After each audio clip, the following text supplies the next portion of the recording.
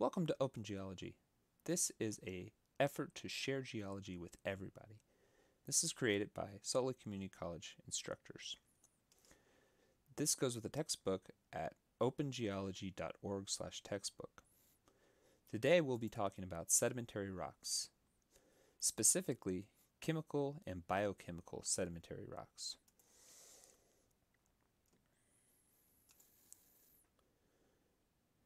Chemical sedimentary rocks are, unlike clastic sedimentary rocks, rocks that precipitate from solution. This is, and by precipitate I mean crystallize or form out of water, which is the opposite of dissolve. I have included a video of crystallization, and I'll, I'll put the link to that video uh, in the description of this one. Precipitation can occur either by uh, inorganic processes like evaporation or from uh, groundwater or organic processes such as critters pulling chemicals out of the water to build their skeletons and homes or uh, large piles of shells from those critters. We're going to talk about several different types of chemical sedimentary rocks. So let's start with limestone, which is one of the most abundant ones, and one of my favorites.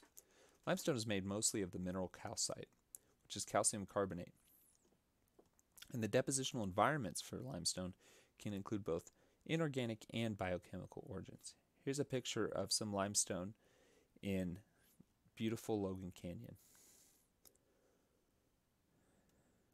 Some biogenic uh, biochemical limestone can is generally made mostly by marine organisms. And a, a good guess for a depositional environment for this type of limestone is coral reefs. Uh, coral reefs will often produce fossiliferous limestone, which is a shell and fossil hash with uh, cement and calcium carbonate mud in between the fossil shells. I'll have a picture of that in an upcoming slide. And then uh, another type of this biochemical limestone is chalk, which is made up of these microscopic shells. Here's a picture of some of the microscopic calcium carbonate shells. I think they're called coccolithophores, but I'm not positive on that. Here's a picture of that depositional environment we were just talking about. And uh, here is a picture of some fossiliferous limestone.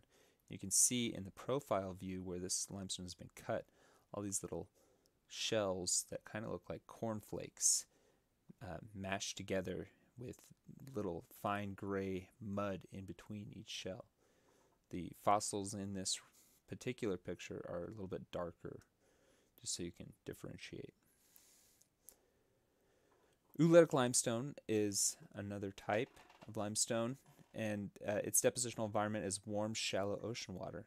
And to make ooids, uh, you need three things water that is supersaturated or has a very uh, high amount of calcium and carbonate ions. You need something for the crystals to uh, nucleate on, to grow on, and a very common thing for that is fish poop. And then finally, you need uh, a gentle rolling motion in shallow marine water to kind of roll these nucleating crystals around. And when they get uh, glued together, you get uh, beautiful limestone like oolitic limestone. Next, we have uh, inorganic limestones like travertine and tufa. These form from the precipitation of calcium carbonate or, or calcite as uh, the water that is carrying that calcite, the ions for that calcite degasses. So here is a picture of some tufa uh, forming at Mammoth Hot Springs in Yellowstone National Park, the north end of Yellowstone. And as the water leaves the groundwater system and emerges to the surface, it degasses and releases its calcite in these beautiful uh, tufa terraces. And then uh, in a fairly similar process, here's water moving through a cave system. And as it moves through the cave system, um, it precipitates its calcium carb- carbonate as travertine. A similar or close relative of limestone is dolostone. It's made of dolomite, which is very much like calcite, except it's magnesium calcium carbonate. And uh, there's still some debate, as far as I understand, of the origin of dolostone, but some potential uh, depositional environments include tidal flat, tidal lagoon areas where you have super concentration of magnesium and calcium ions. And then a lot of people think that a lot of dolostone could form as a secondary process after the rock becomes lithified. You can have water moving, groundwater moving through that's magnesium rich that changes limestone into dolostone. Dolostone is generally harder than limestone and it, it doesn't fizz as readily when you put hydrochloric acid on it. Another cool type of chemical sedimentary rock is chert. And you can have both biogenic and non biogenic chert. Uh, biogenic chert forms uh, like biogenic limestone from, uh, like biogenic limestone can at least, from these tiny microscopic shells. So this is kind of the equivalent to chalk for uh, biogenic limestone, except these shells are made out of uh, silica, right? These, I think these are diatoms in this picture. And these will accumulate at the ocean bottom uh, beyond the uh, zone where calcium carbonate generally can it can precipitate. So at a, at a fairly great depth, and you get these siliceous oozes that'll pile up and then later lithify.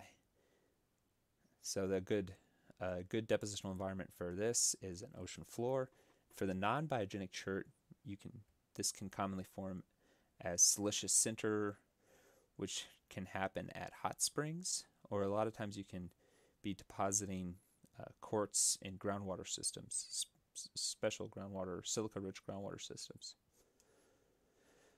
Another type of chemical sedimentary rock are evaporites, and a great uh, example of a depositional environment for these is the Bonneville Salt Flats. And here you see uh, an immense amount of evaporites, which is the white rock in this picture. These are created by the process of evaporation. As water evaporates from a playa lake or something similar, uh, it concentrates the ions in that water and causes precipitation of halite and gypsum, creating rock salt and rock gypsum. Coal is a, a very important chemical sedimentary rock, and this forms from the accumulation of plant matter. So, a really common depositional environment for this is swamps and peat bogs. And here is an example of what that depositional environment might look like. This will eventually create peat, which can accumulate in large quantities, and then they'll get compressed. And over time, through the process of diagenesis, you'll create uh, different grades of coal.